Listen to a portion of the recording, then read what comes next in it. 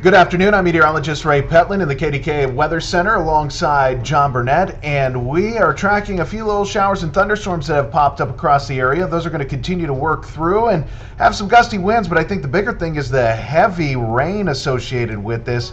It'll be brief but heavy, and there are a couple little uh, rumbles of thunder that come along with it, but that's not the widespread part of this. So this is working through right now. It's part of a bigger system that is actually going to bring us some much warmer air heading into the day tomorrow. So big warm front crossing the area.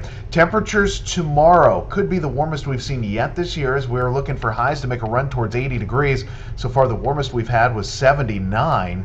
And uh, you can see that there is a cold front attached to this system, but it doesn't quite get here. It just drags by to our north. That's going to sort of keep a stormy setup going on here.